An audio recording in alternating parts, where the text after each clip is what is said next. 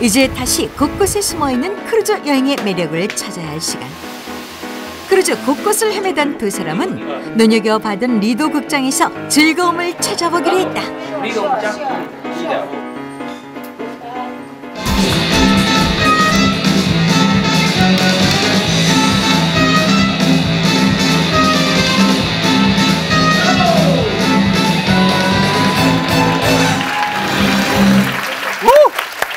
왠지 어떻게 알겠어 여기 있다 보니까 여기 뭐 공연장에서 공연 보는 느낌 막 사람 가득 찼대 맞죠?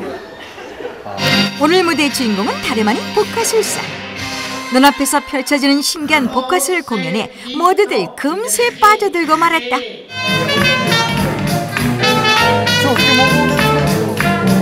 얘들아, 그렇게 재밌니?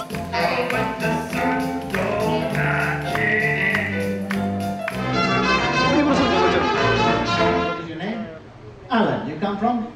Hello? Hello.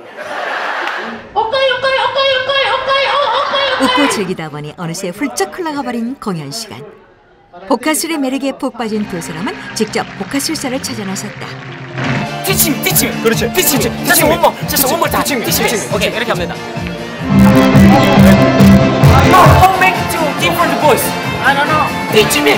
You wanna change your voice? Hey, how you doing? You like it better? Yeah, it better. Yeah. 진짜 신기하네. Okay. When I press, okay. Yeah, yeah. you wait. Okay. Okay, okay, okay, okay, okay. One more. All right, all right, all right. 와 진짜 신기하네 glass. 이번엔 또 뭘 보여주려나? 소품을 이용한 즉흥 연기? 그 틈을 놓칠 근수가 아니지.